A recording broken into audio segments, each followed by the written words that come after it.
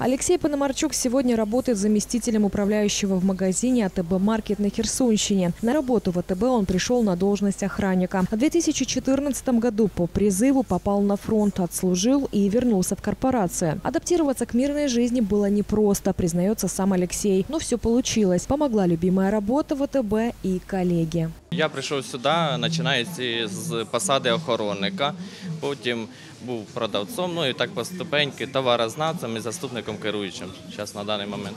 Собственные учебные центры – еще одна гордость компании АТБ. Ежегодно в них проходит обучение более 4 тысяч человек. Чтобы, что называется, дорасти до сегодняшней должности, рассказывает Алексей Пономарчук, он дважды повышал квалификацию в таком учебном центре. Сначала выучился на товароведа, а потом на заместителя управляющего.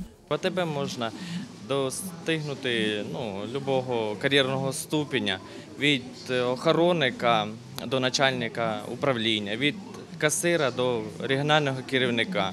Тут для цього побудовано чотири навчальних центри, де можна підіймати ступінь за ступінню вверх по сходинцях. Алексей работает в торговой сети АТБ уже 6 лет. Говорит, что возможность карьерного роста в этой компании – это и большая ответственность, но и в то же время большие возможности. Придя на должность охранника, сегодня Алексей с коллегами уже несет ответственность за работу целого магазина. Я побувавши на кожному, можна сказати, етапі і продавцом, і охоронником, товарознавцем за 6 років роботи.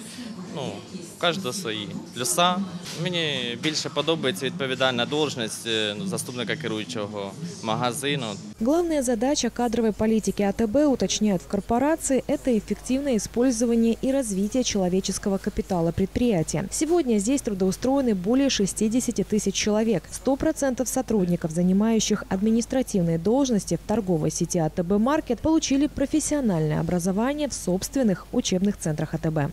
Ми дуже швидко розвиваємося і таким чином роботи всім вистачає. Можна нерідко у нас в АТБ зустріти молодих керівників, зовсім молодих. Також хто хоче, у нас може добитися будь-якого. Тут немає преград для цього і можна вивчитись, не відриваючись від роботи, навчатись. В 2014-2015 годах 765 сотрудников компании АТБ, так же как Алексей, встали на защиту целостности страны. Из зоны боевых действий ранеными вернулись 6 человек. 10 воинов отдали свою жизнь за независимость Украины. Только за последние три года свыше 20 миллионов гривен корпорации АТБ было направлено на помощь украинской армии, семьям воинов АТО, беженцев и детям так называемой серой зоны.